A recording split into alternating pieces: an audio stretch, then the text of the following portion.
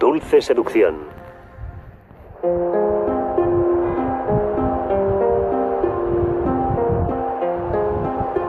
En febrero de 1977, una de las mujeres más ricas de Chicago salió de la Clínica Mayo para entrar en la historia del crimen. La excéntrica heredera de 65 años, Helen Brack, tenía que haber viajado a Florida la semana siguiente, pero jamás llegó allí. A pesar de una investigación que duró años, la policía no consiguió llegar a indagar qué había sido de Helen Brack. El caso aún está abierto y nadie puede creer que no se haya podido resolver y explicar lo que sucedió o dónde está su cuerpo. Cuando Helen desapareció, dejó atrás una extensa propiedad, cinco coches de lujo, incluido un Rolls Royce color lavanda, una docena de perros y lo que parecía un excelente móvil para un asesinato. Una fortuna de 30 millones de dólares. La policía habló con todas las personas allegadas a la solitaria viuda. Su hermano, su empleado y el hombre que muchos consideraban su amante, Richard Bailey. La policía tenía sospechosos, pero no consiguió encontrar ni el cuerpo ni el arma homicida. Y aunque no existían pruebas contundentes, no escaseaban las especulaciones. El caso estaba en boca de todo Chicago. Es un misterio y a la gente le encantan los misterios. Ha sido tal vez el crimen sin resolver más famoso en la historia de Chicago. El misterio de la desaparición de Helen Brack desconcertó durante años a los investigadores. Una viuda rica, un embaucador con encanto y gángsteres mezclados con dueños de caballos millonarios. Cuando la verdad empezó a salir a flote, destapó los sucios secretos de la alta sociedad de Chicago. Helen Borges Brack había nacido en 1911 en una familia de clase obrera en la población rural de Unionport, Ohio. Su padre era conductor de tranvía y su madre ama de casa. Helen se convirtió en una bella mujer. Su belleza llamaba la atención, pero no le trajo suerte. Se divorció de su primer marido cuando tenía solo 21 años. Después los hombres a los que atraían no parecían quedarse mucho tiempo a su lado. A lo largo de los 17 años siguientes, Helen fue de empleo en empleo por todo Ohio. Pero su vida no iba a ninguna parte. En 1950 se marchó a Florida con la esperanza de hallar algo mejor. Encontró oro casi de inmediato. Conoció a Fran Brack siendo encargada del guardarropa en el club de golf de Indian Creek en Florida. Fran Bark había heredado la empresa de caramelos más importante de los Estados Unidos, un imperio multimillonario con sede en Chicago. El magnate de los caramelos, de 60 años, estaba casado, pero en menos de un año tuvo una nueva esposa, Helen, que tenía entonces 39. Pasó de ser la chica de los cigarrillos a poseer recursos prácticamente ilimitados. Tenían una estupenda vida juntos. Helen se trasladó a la mansión de 18 habitaciones de Frank en Glenview, una lujosa zona residencial de Chicago, donde Helen empezó a darse la gran vida.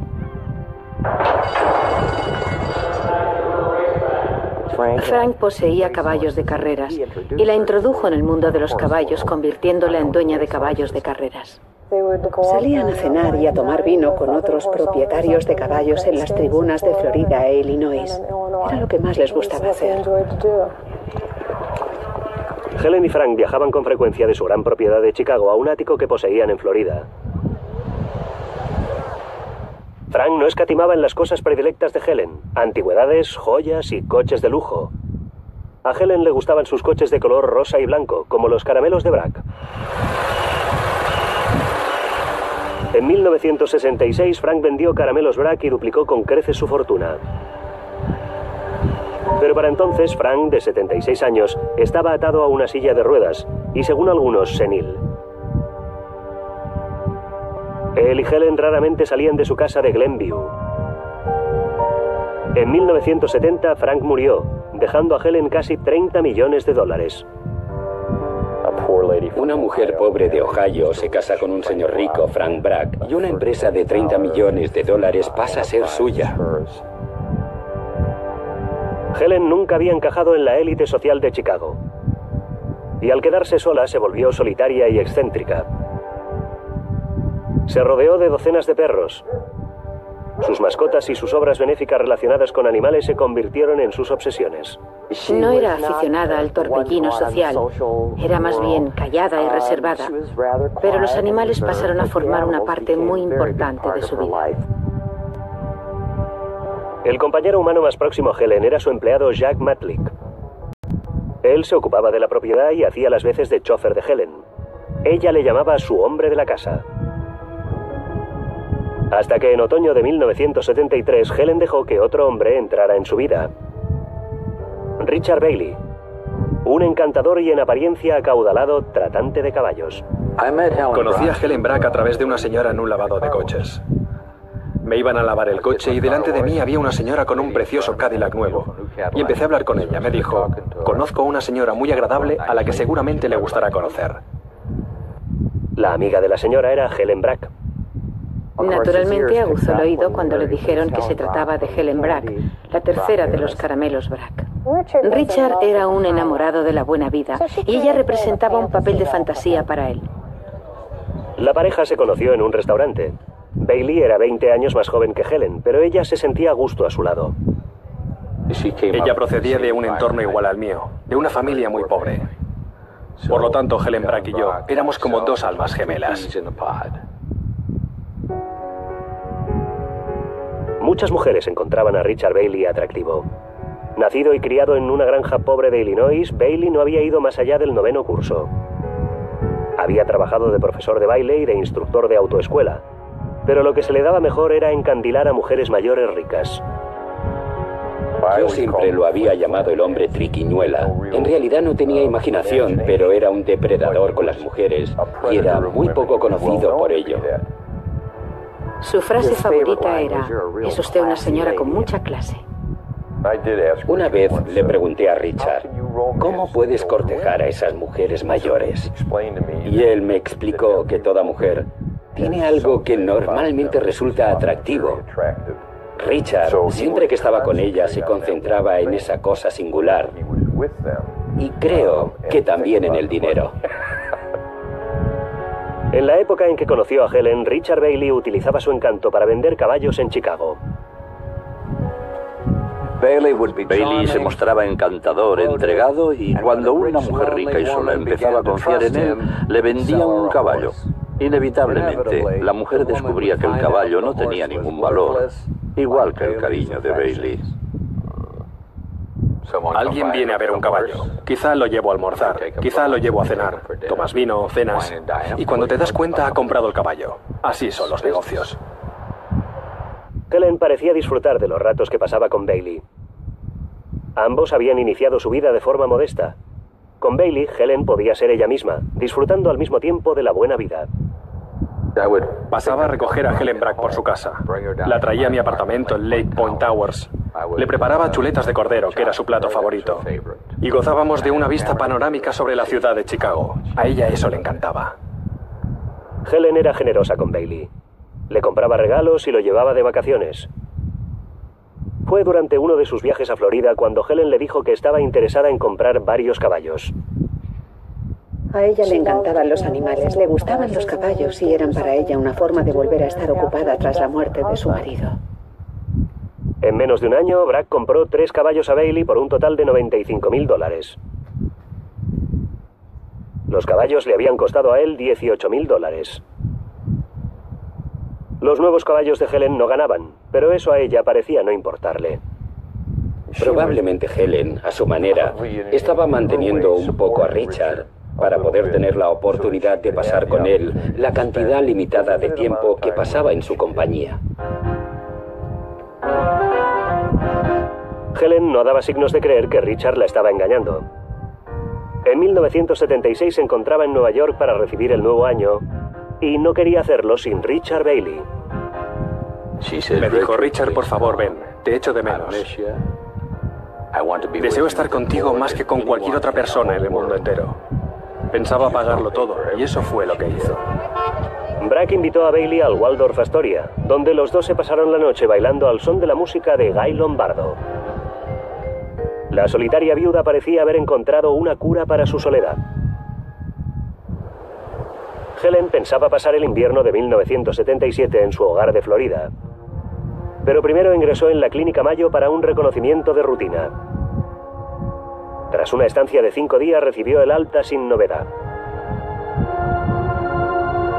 A su salida del hospital se paró en la tienda de regalos Bagskin, donde compró dos platitos de alabastro a juego para el jabón y los polvos. Helen pidió a la dependienta que se diera prisa. Dijo que su empleado la estaba esperando. Cuando la transacción se hubo realizado, Helen se puso su abrigo de pieles y se encaminó a la salida. Nadie volvió a ver jamás a Helen Brack. Es posible que la mataran por dinero o por amor, o quizás había cosas que no debía saber. Una de las mujeres más acaudaladas de Chicago aparentemente se había esfumado. Cuando la heredera de los caramelos de Chicago, Helen Brack, desapareció en 1977, la policía estaba desconcertada por la falta de pruebas. Empezaron a interrogar a las personas más cercanas a ella, incluido el chofer y cuidador de Helen, Jack Matlick.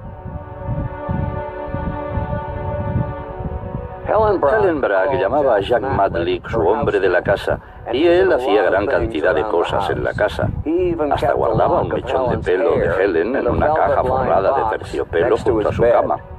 Y cuando la policía empezó a husmear por allí, empezó a oler a gato encerrado.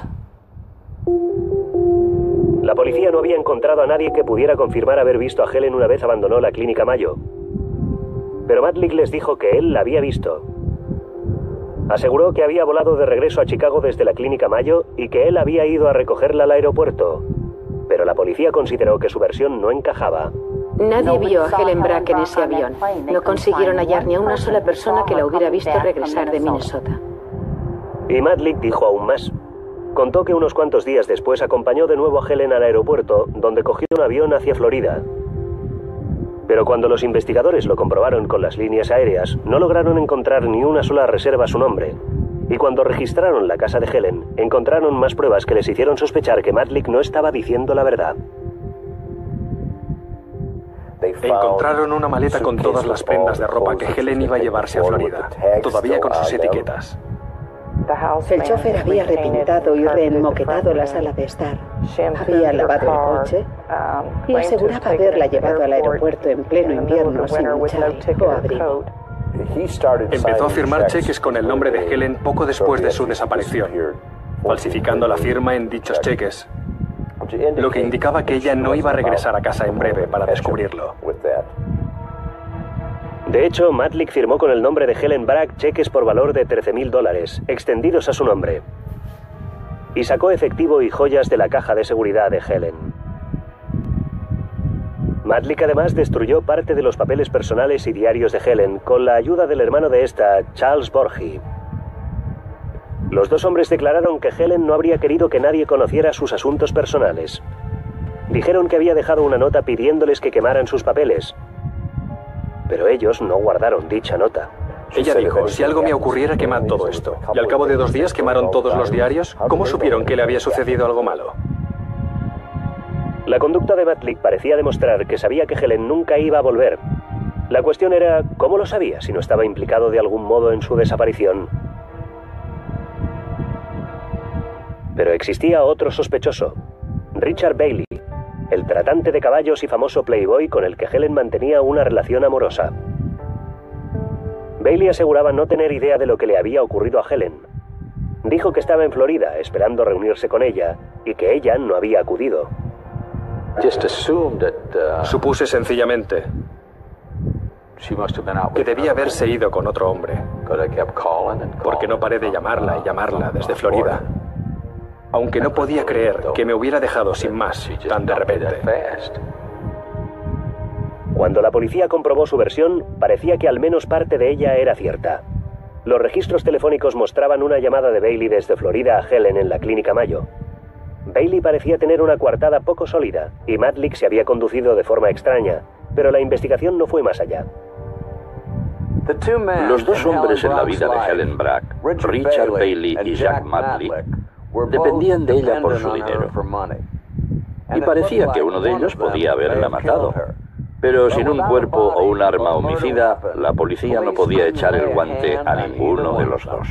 Si no tienes un cuerpo, tienes un problema. No sabes si fue golpeada en la cabeza con un objeto contundente, lo que indicaría una lucha repentina.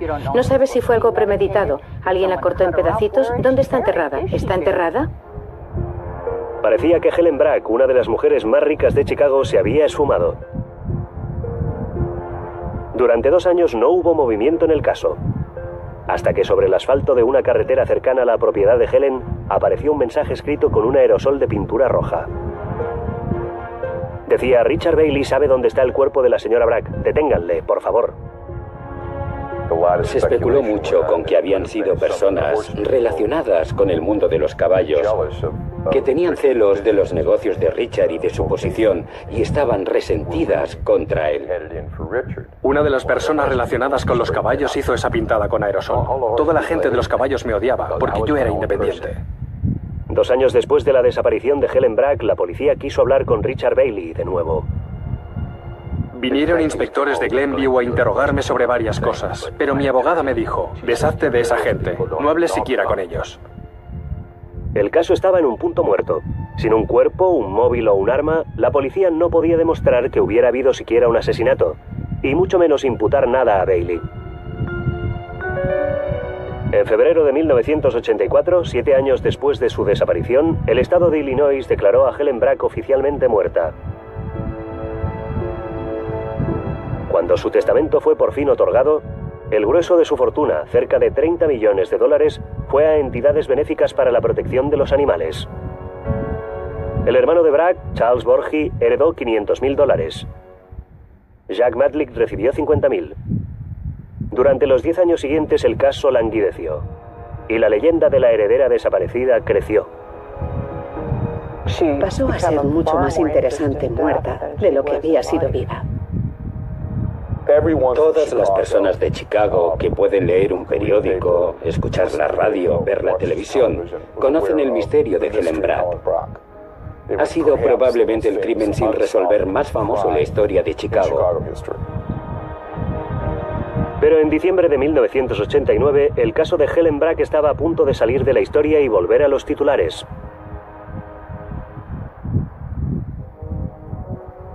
El ayudante del fiscal de los Estados Unidos, Steven Miller, que acababa de ganar un caso de gran repercusión que tenía que ver con fraude y asesinato, supo que una mujer llamada Barbara Morris había presentado una demanda judicial alegando que un elegante timador le había estafado 50.000 dólares en la compra de un caballo.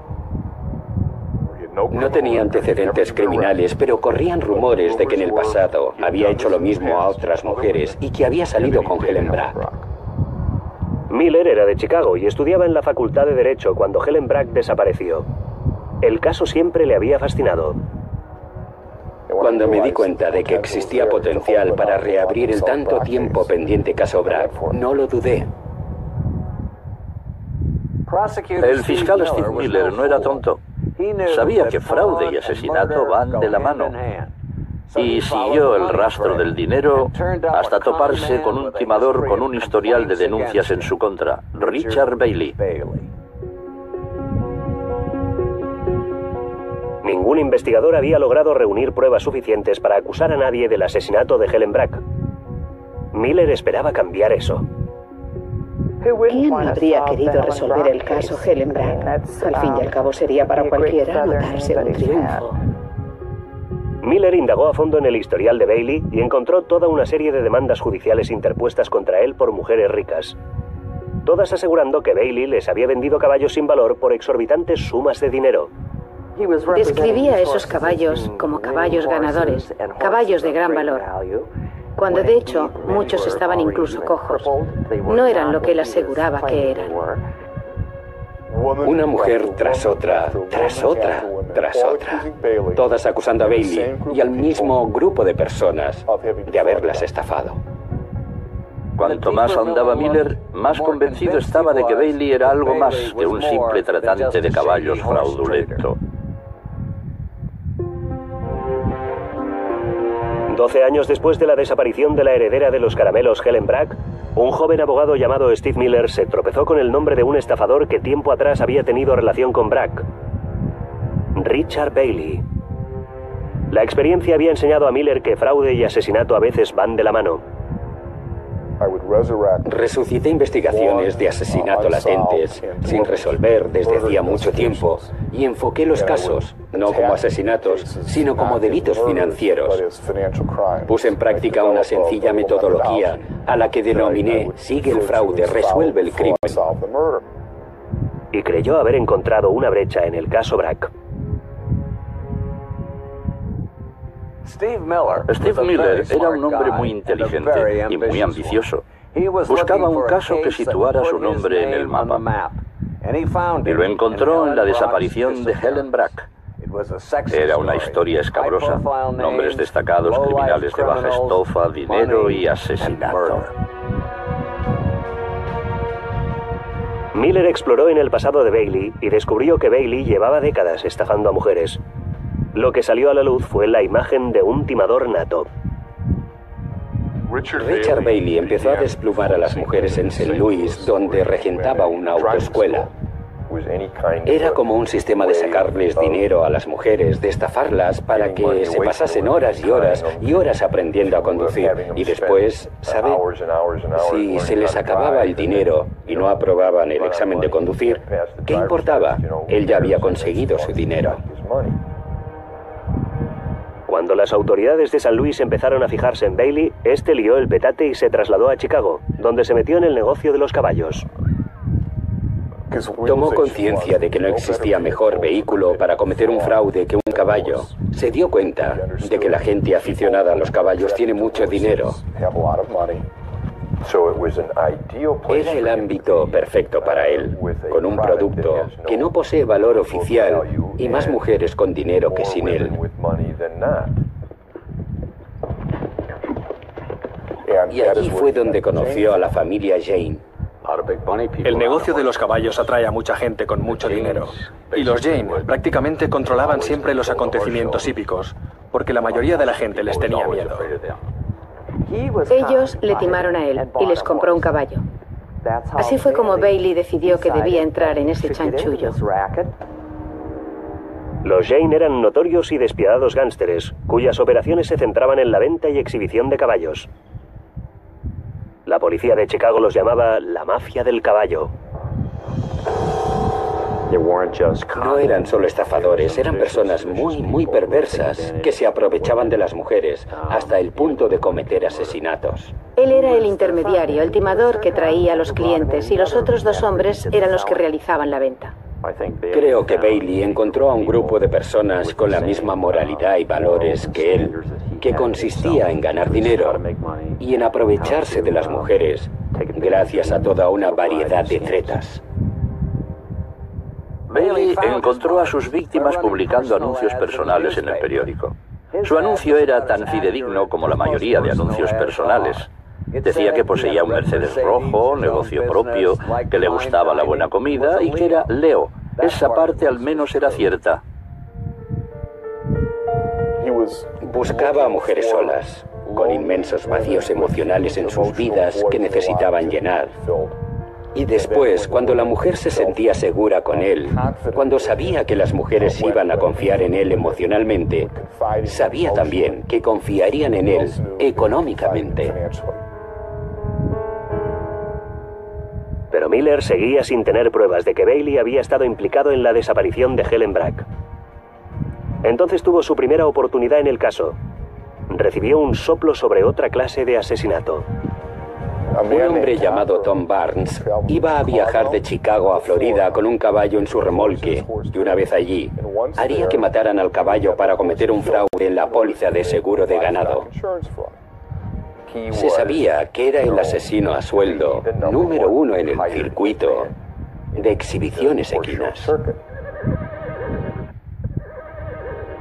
En el mundo de los caballos se sabía todo acerca de Tom Barnes, pero nadie hablaba de él. Era el tipo al que convenía acudir cuando se tenía un problema que no se solucionaba. A Barnes lo llamaban el hombre de arena. Proporcionaba a los caballos el sueño eterno. Solo podían ocurrir dos cosas en una exhibición con Tommy Barnes. O moría un caballo o desaparecían arreos. Era robar o matar. En 1991, Tommy Barnes fue arrestado en Florida y acusado de haber matado a un caballo. Miller voló hasta allí para interrogarle, con la esperanza de que quizás supiera algo sobre Richard Bailey y Helen Brack.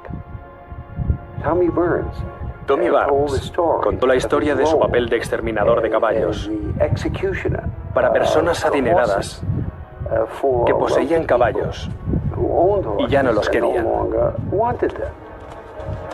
Barnes dijo que no sabía nada de la heredera de los caramelos, pero Miller quería saber más sobre los tratos sucios del hombre de arena.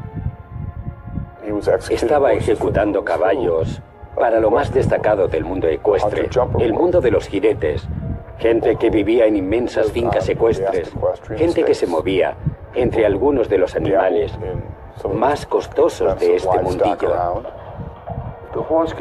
Si el caballo había dejado de rendir, pasaba a ser una carga innecesaria para esa persona rica. Cuidar del caballo, tener que pagar para la manutención de ese caballo.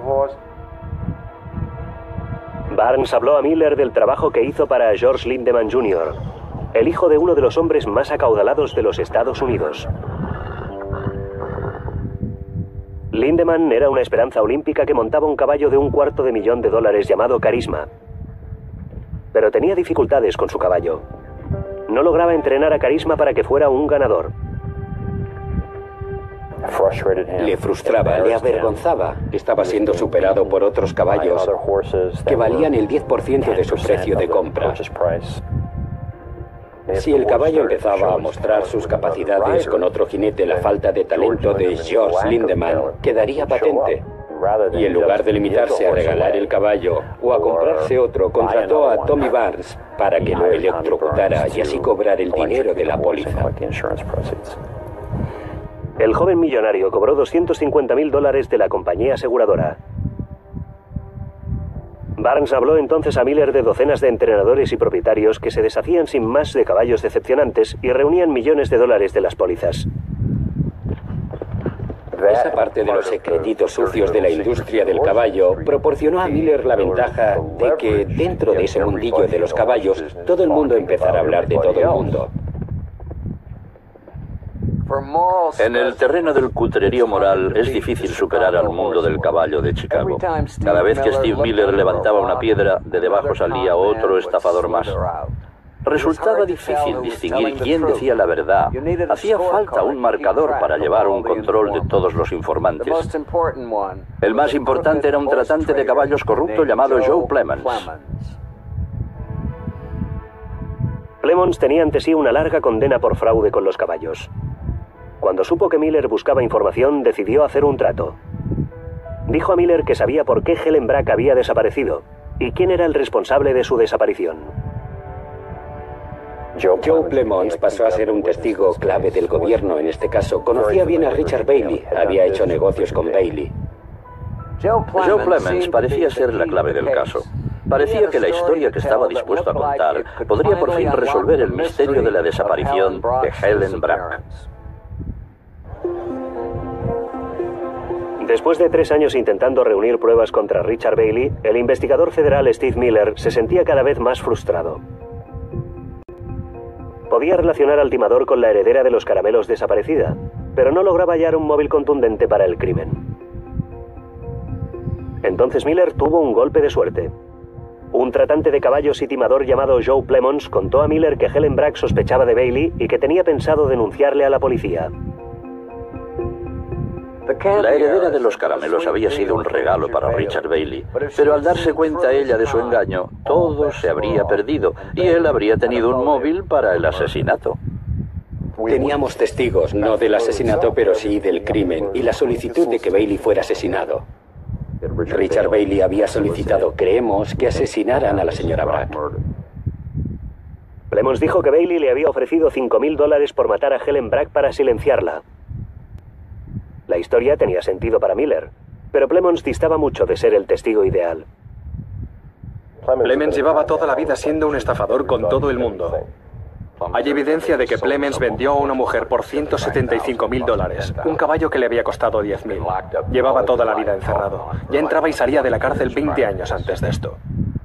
Bailey dijo que Joe Plemons mentía. ¿Cómo se puede hacer caso de un timador? Y Plemons dijo que Bailey mentía, que el timador era él. Los dos eran timadores. Pero Steve Miller estaba convencido de que Bailey tenía que ver con la desaparición de Helen Brack. Bailey no era solo un embaucador, Miller tenía pruebas de que podía ser despiadado. Había una mujer llamada Linda Holmwood que era todo lo triste y trágica que una persona puede llegar a ser. Estaba divorciada, padecía un grave alcoholismo, era una alcohólica en grado extremo, no tenía amigos. Y Bailey reconoció de inmediato que podía ser una paloma, como él las llamaba, particularmente fácil, porque le quedaban muy pocos recursos emocionales e intelectuales. Y de repente la pobre mujer tiene un caballero andante y cree que su vida entera ha dado un vuelco. Pero lo único que hizo Bailey por Linda Holmwood, según Miller, fue servirle champaña y venderle varios caballos sin valor. Cuando hubo acabado con ella, estaba sin un céntimo y sola. La naturaleza de los delitos de Bailey contra las mujeres eran de naturaleza tan despiadada que estaba convencido de que era capaz de jugar un papel en un asesinato. Tras casi cinco años de investigaciones, Miller por fin reunió pruebas suficientes para presentarlas ante un gran jurado. Vas uniendo las piezas y Bailey es un timador en serie. Está con el agua al cuello porque ha humillado a una figura muy prominente y poderosa en Chicago. Esa persona amenaza con acudir de forma inminente a las autoridades y hacer que le procesen hasta que Puff de repente desaparece. Miller pidió al gran jurado que encausara a Bailey por 29 cargos que iban de fraude a conspiración para asesinar. Destacó una serie de delitos cometidos por Bailey y la despiadada banda de los Jane a lo largo de 20 años. Dado que se trataba de un fraude en curso, Miller podía presentar contra Bailey cargos por crimen organizado y declarar que el asesinato de Helen formaba parte de un plan criminal más amplio. El 27 de julio de 1994, 17 años después de su desaparición, un gran jurado condenó a Bailey por conspirar para asesinar a Helen Brack. Richard Bailey, el gigoló galopante, ha matado a su última viuda y ha estafado a su última víctima. Para silenciar a Helen Brack, Bailey conspiró, solicitó y causó su asesinato. El gran jurado condenó asimismo a 21 personas más, la mayoría de ellas por delitos relacionados con el sacrificio de caballos para cobrar el dinero de las pólizas. Richard Bailey admitió haber estafado a mujeres, pero aseguró que jamás había engañado a Helen y dijo que no había tenido nada que ver con su desaparición. Bailey tenía que tomar una decisión. Podía dejar que un jurado decidiera su suerte por los 29 cargos, incluida la conspiración para cometer asesinato, o declararse culpable de varios de los cargos y esperar que el juez no fuera demasiado severo con él en la sentencia. El jurado podía declararle culpable porque llevaba un bagaje demasiado importante, con todas aquellas mujeres hablando de fraudes. Bailey decidió no enfrentarse a un jurado. Hizo un trato. Se declaró culpable de 16 de los cargos de la acusación, cargos que no incluían el asesinato de Helen Brack. La estrategia legal era que alejaría el caso del jurado, que podía enfocar las cosas de un modo más emocional y lo situaría frente a un juez. Pero si el juez Milton Shadur, al sentenciar, consideraba que las pruebas señalaban hacia la culpabilidad de Bailey en la desaparición de Helen Brack, Bailey, de 65 años, podía pasar el resto de su vida en la cárcel. Era una jugada arriesgada, pero Bailey era un hombre acostumbrado a correr riesgos. La vista comenzó el 22 de mayo de 1995. Era la historia criminal más importante en la ciudad.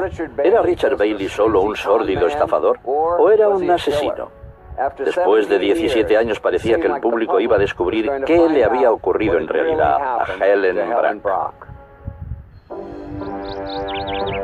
En 1995, 18 años después de la desaparición de Helen, el fiscal de los Estados Unidos Steve Miller encausó a Richard Bailey por cargos de estafa y conspiración para matar a la heredera millonaria de los caramelos, Helen Brack. Bailey renunció a su derecho de ser juzgado por un jurado y accedió a permitir que un juez decidiera su suerte en una vista para sentencia. Timador consumado, entró en la sala del tribunal convencido de que superaría el cargo de conspiración para asesinar. Bailey era un hombre carismático. Con eso había contado durante toda su vida. De hecho, personas presentes en el juicio bromearon diciendo que si no hubieran sacado a las empleadas judiciales de la sala, Bailey las habría camelado para que le dejaran salir. Ante el juez, Miller explicó cómo actuaba Bailey. Ofrecía a sus solitarias víctimas compañía, a veces hasta les prometía matrimonio. Después les vendía caballos sin valor, creando falsas sociedades y cobrando falsos gastos de establos. Con demasiada frecuencia las mujeres se quedaban humilladas y en la ruina. Así que cuando alguien está dispuesto a degradar a otro ser humano hasta ese nivel, de ahí al asesinato, el salto no es muy grande. Miller dijo que Bailey se había aprovechado de Helen Brack de la misma manera. Y cuando Helen se dio cuenta y amenazó con acudir a la policía, Bailey la hizo matar. Pero la abogada de Bailey dijo que el caso de Miller era meramente circunstancial. Tomó varios hechos vagamente relacionados, tenues conexiones de Bailey con esos fraudes en el mundo de los caballos, y no existía prueba alguna que demostrara que había tenido nada que ver con el asesinato de Helen. De hecho, la defensa dijo que Helen había ganado dinero con los caballos que Bailey le había vendido. Varios de ellos habían ganado carreras, no eran rocines. Yo creo que toda esa parte del caso presentado por el gobierno tiene muchos defectos. Además, argumentó su abogada, el asesinato no encajaba en la personalidad del timador. Si estaba en dificultades, solo tenía que recurrir a su encanto. No le daba miedo ser procesado. Richard siempre había creído que su labia podía sacarle de cualquier apuro. Pero la acusación contraatacó. Esta vez Bailey estaba con el agua al cuello. Helen Brack era la mujer más rica a la que Bailey había timado, y eso marcaba la diferencia. La señora Brack era una de las mujeres más acaudaladas de Chicago y podía lograr que las fuerzas defensoras de la ley hicieran notar su peso. Pensaba acudir a la oficina del fiscal del estado, usar su riqueza e influencias para castigar a Richard Bailey y sus cómplices. Joe Plemons testificó que Bailey le contó que Helen había descubierto su estafa y que le ofreció 5.000 dólares para que la matara. Pero Plemons era también un estafador convicto que iba a obtener una reducción de condena a cambio de su testimonio. Esos son los testigos menos fiables. No interesa depender de testigos de esa clase. Al final, la defensa llamó la atención sobre la sospechosa conducta del empleado de Helen, Jack Matlick. Matlick era el que se ocupaba de todo. Creo que es a él a quien se debería señalar con el dedo. Madlick había falsificado cheques de Helen, destruido sus papeles personales y cambiado la moqueta de su casa. Y todo ello a las pocas semanas de su desaparición. Se produjeron cosas extrañas con Jack Madlick. ¿Tuvo algo que ver con el asesinato? La respuesta es no lo sé con certeza. Esa es una parte de la investigación que continúa aún empañada.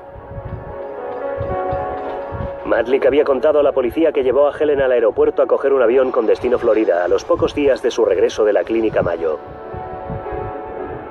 En cuanto regresara de la clínica Mayo, iba a acudir a las autoridades. Lo tenía esencialmente en su agenda, poner a Richard Bailey entre rejas.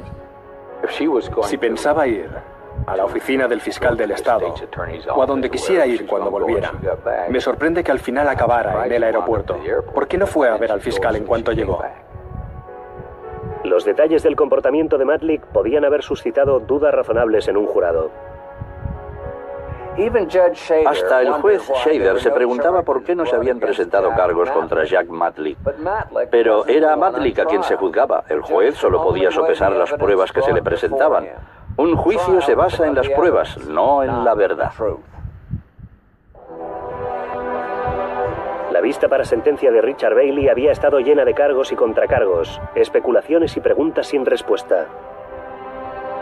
Después de tres semanas, el juez Shadur estaba dispuesto a dictar sentencia. Redactó un escrito de 41 páginas explicándolo. El 6 de junio de 1995, el juez Shader dictaminó que había preponderancia de pruebas de que Richard Bailey había orquestado el asesinato de Helen Brack. Bailey se había pasado la vida aventurándose con las mujeres y la ley, y esta vez había perdido. Richard Bailey fue sentenciado a 30 años en una prisión federal de seguridad media. Desde la cárcel, Bailey sigue manteniendo que no tuvo nada que ver con la desaparición de Helen Brack. Es imposible. No hay forma alguna de que yo pueda saber lo que le sucedió a Helen Brack. Si ella pudiera salir de su tumba o de donde quiera que esté, le garantizo que ahora mismo recusaría a Steve Miller. Sin duda alguna.